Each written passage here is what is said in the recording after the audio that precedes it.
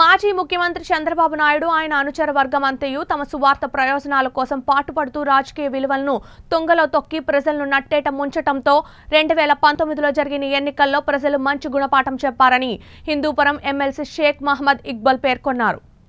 అదే రాజ్యాంగం విలువలు రాజకీయం విలువలతో కూడుకున్న రాజకీయం చేస్తున్న సీఎం జగన్మోహన్ రెడ్డి ప్రజా అభివృద్ధి ధ్యేయంగా అన్ని వర్గాల వారిని ఆదరించి అందరి మదిలో నిలుస్తున్న సీఎం జగన్మోహన్ రెడ్డి తెలిపారు.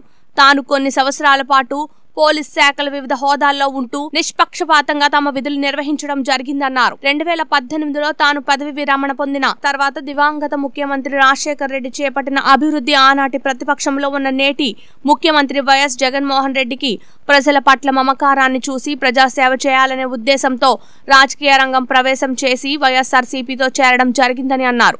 సీఎం జగన్మోహన్ రెడ్డి సాధారణంగా పార్టీలోకి ఆహ్వానించి రెండు వేల పంతొమ్మిదిలో జరిగిన ఎన్నికల్లో హిందూపురం అసెంబ్లీకి ఎమ్మెల్యేగా బరిలోకి దింపడం జరిగిందన్నారు. కొన్ని కారణాల వల్ల ఓటమి చెందినప్పటికీ రెండుసార్లు ఎమ్మెల్సీగా బాధ్యతలు అప్పచెప్పడం ఎంతో హర్షించదగ్గ విషయమన్నారు. సీఎం జగన్మోహన్ రెడ్డికి తాను ఎప్పుడు రుణపడి ఉంటానని ఆయన ఆశయాలకు అనుగుణంగానే హిందూపురం ప్రాంతంలో ప్రజలకు అందుబాటులో ఉంటూ ప్రజా సంక్షేమ పథకాలను ప్రజల్లోకి తీసుకెళ్ళడం జరుగుతుందన్నారు. విలువలు పాటించారో మనం చూడాల్సి వస్తుంది. ఈరోజు పత్రికలు రాస్తున్నాయి. ఒక మతం గురించి. ఈ లౌకికవాద దేశంలో ఎవరు ఏ మతపరమైన కుటుంబంలో పుడితే సాధారణంగా ఆ- మతాన్ని మనం పాటించడం లేదా ఏ మతమైనా మనం పాటించవచ్చు అనే రాజ్యాంగం మనకు స్వాతంత్రం ఇచ్చింది కాబట్టి ఆ మతాన్ని పాటిస్తూ ఉంటాం. ఇది రాయలవాడు స్వరూపానందేంద్ర స్వరూపానంద స్వామి వారిని దర్శించుకోవడం తిరునామంతో జగన్మోహన్ రెడ్డి గారు వెంకటేశ్వర స్వామి వారిని దర్శించుకోవడం.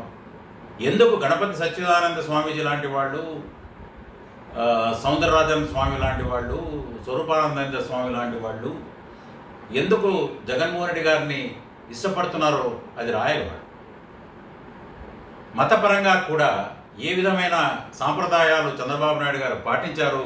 ఒకసారి ఈ పేపర్లన్నీ గుర్తుకు ఎవరైతే వారు రాస్తున్నారో వారు గుర్తుకు తెచ్చుకోవాలి.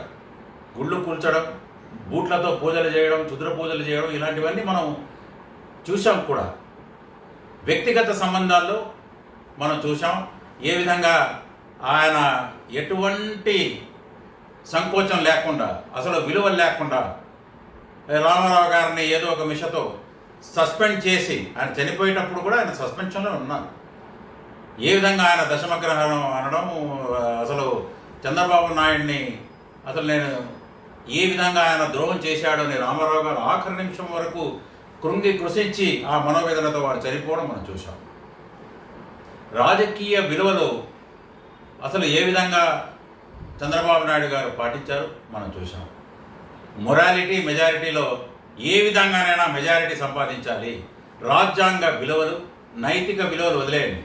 రాజ్యాంగ విలువల్లో ఎట్టి పరిస్థితుల్లో అయినా ఎమ్మెల్యేలను కొని మా ఎమ్మెల్యేలను కొన్నారు ఇరవై మూడు మందిని.